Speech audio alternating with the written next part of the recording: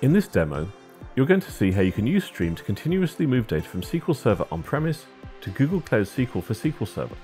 We will show you how to use Striim's wizards and intuitive UI to build data flows. Run the data flows to collect data from SQL Server using Change Data Capture and deliver it in real time to Cloud SQL for SQL Server and see continuous monitoring of your cloud migration solution. Performing streaming data integration with Striim starts with our wizards. We will select SQL Server as the source and Cloud SQL for SQL Server as the target. After clicking the wizard and entering a name for our data flow, you just need to complete a few simple steps. First, you'll configure the source. Enter the necessary information to connect to the source and click on Next. Don't worry, any secure information like passwords is encrypted.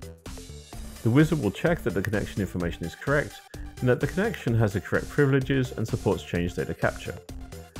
Next, you select the tables that you're interested in collecting real-time data from.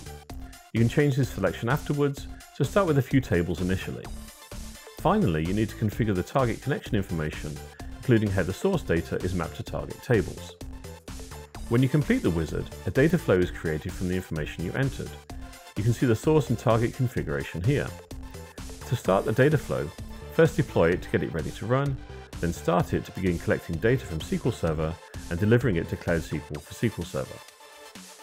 Initially, there is no data flowing, because we're not generating any new data in SQL Server. You can see from the UI for Cloud SQL for SQL Server that there is no data present in any of the target tables.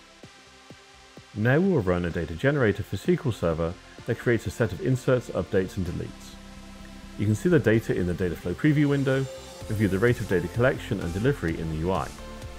We can also look at the application progress here see a summary view of your tables. After a number of operations have been generated, we can check back with the Cloud SQL for SQL Server UI to see the data in the target tables. Of course, Striim can perform initial loads as well through similar data flows.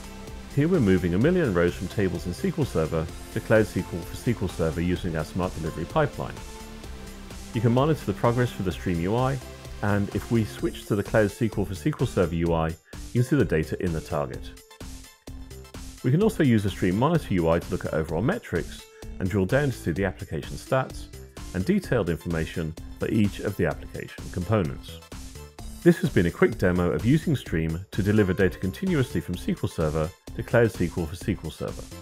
Please go to our website to try Striim for yourself, find Striim in the Google Cloud Marketplace, or contact us to learn more.